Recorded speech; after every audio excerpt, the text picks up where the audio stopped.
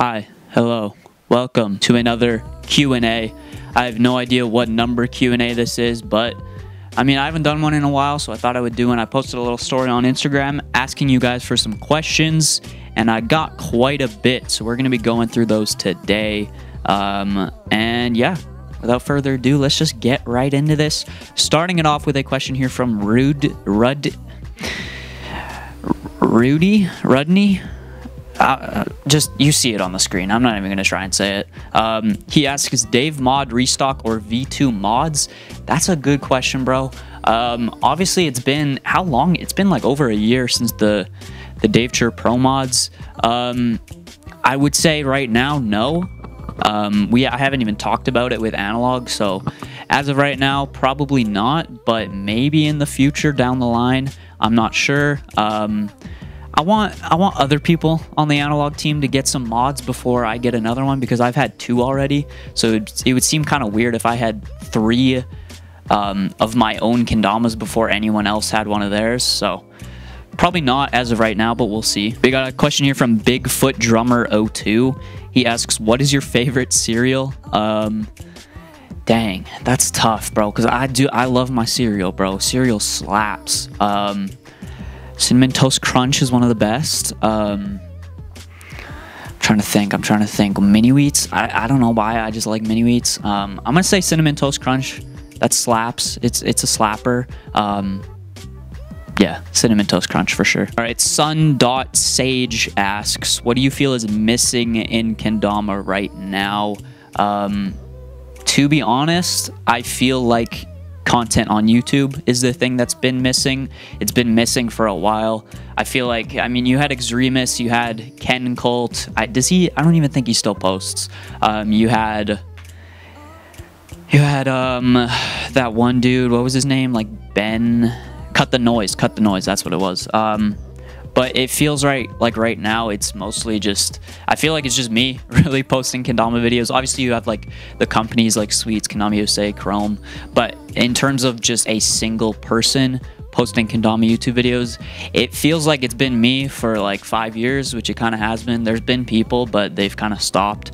So i feel like just more content creators on youtube when it comes to kendama. That'll i feel like that would definitely help spread kendama um, and just provide more, you know, entertainment on the YouTubes when it comes to Kendama. So that's I would say that definitely. Uh, Weed69 asks, "What type of chair are you sitting in?"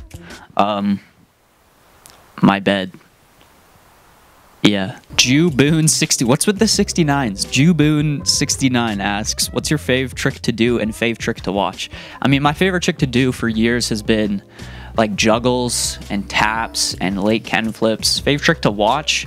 I mean, probably right now, cloud bounces. Um, I still haven't done a cloud bounce, but yeah, they're fun to watch. I just suck at doing them. But in terms of what tricks I like to do, like I said, juggles, taps, uh, Ken flips. Uh, I like lunars, stuff like that. You know. Dylan dot skates asks, "How old are you now?" I am 19 right now. Um, I just turned 19, so there you go. Drew Daves asks Q and B.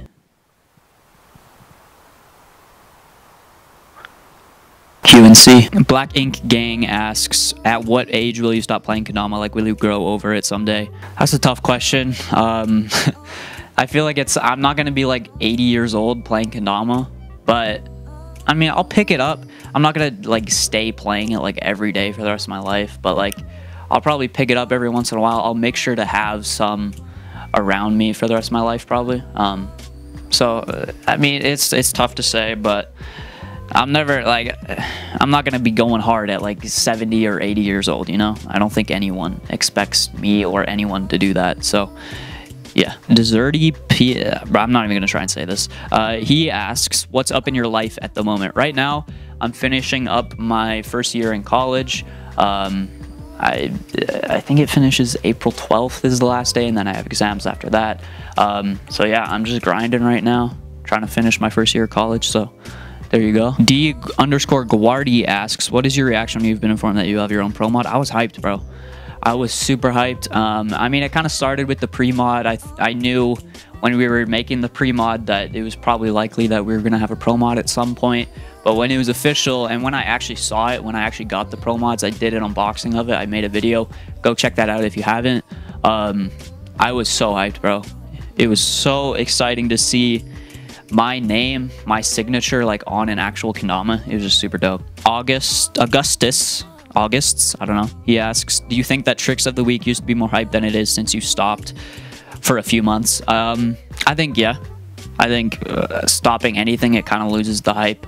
Um, I still, I still want to make them because I want to have like a consistent series on my channel um, when it comes to kendama. But I mean, I honestly don't really care for views at this point. I've kind of stopped doing YouTube for views. Um, I literally just post videos that I have fun making and videos that I'm proud of. So when it comes to views, when it comes to people watching the videos, I really do not care at this point. Like, you guys see it, I could be posting Kendama videos and getting a thousand views every video, but I don't do that. I post Raptors wrap up videos, reaction videos of the Raptors games every game, um, and they get like 100 views. And I literally don't care because I have fun making them and I'm proud of what I make and I love talking about basketball. So, yeah, I just make what I want to make. I don't care about the views. The hype uh, definitely has died down on my channel, definitely. Um, and specifically when it comes to top tricks of the week. But once again, I don't care about the views anymore. Benjamin Kendama here, the legend. Shout out to Benjamin. Um, we got, he asks, last Dama comp you've gone to. It was MKO 2017, I believe. Yeah, that was the first and only and the last uh, competition that I've been to. In terms of other other Dama related things, I went to H&L Kendamas in Hawaii when I was there. I went to SoCal Kendamas. Shout out to you guys if you remember that store in San Diego, I believe, or south of San Diego a little bit. Um, but yeah, MKO is the only event I've been to. It was it was super dope. I was kind of overwhelmed honestly because it was the first event I've been to, and it was a huge event, and I didn't really know anybody there. I mean, Analog was there, but it was yeah. Overall, it was it was a good event though. And uh, Benjamin Kendama once again asks, "Are you still on Analog?" And if so, do they still send Damas? Yes, I'm still on analog, but no, they don't send Damas because honestly, I told them not to send Damas because I don't want them to waste Damas on me when I'm not playing as much. And I just feel like I have so many Kendamas already. I don't need every single new analog Kendama that comes out. Don't get me wrong, I love it when they do send Damas. Um, I love doing unboxings. I love checking out the new stuff, but it's just not necessary for me to get every single Dama in the world that they release because I mean I have so many Kendamas you guys saw I've been trying to sell some of them um, because there's no need to have 150 Kendamas um, so yeah I'm still on analog they don't send me Damas as often but that's because I said not to so yeah. And we got the last question here. D Boy Kato Kato asks, "How do you feel about Dama right now?" Um, I've honestly lost interest over the past two years a little bit. If it wasn't for the YouTube channel, I probably honestly I might have quit Kendama by now. But because you guys watch these videos and I don't want to just stop making videos and leave you guys with no videos at all, um, I'm gonna keep playing Kendama. I'm gonna keep making Kendama videos. Um, I, am gonna be honest, I have lost a little bit of interest. Um, but yeah, I just I have a really addictive personality. So when I find something that I really like, like when I found Kendama, that's all I did. Like all I did was play Kendama. Before that, uh, you guys might not know this, but I had a fingerboard company. Um, it sounds kind of lame, but I made fingerboards. I fingerboarded a lot. That's pretty much all I did. Um, I've been addicted to YouTube for a long time. Um, and recently, I mean, I played basketball when I was younger. I watched a little bit, but I've really got more interested in basketball as well. Um, and when I get addicted to something, that's like all I can really think about. So right now, for me, it's basketball and then Kendama and YouTube mixed in there somewhere. So yeah, I just have an addictive personality. I get really passionate about things. Um, and it was Kendama for a long time. Um, I still love Kendama. I still like playing it.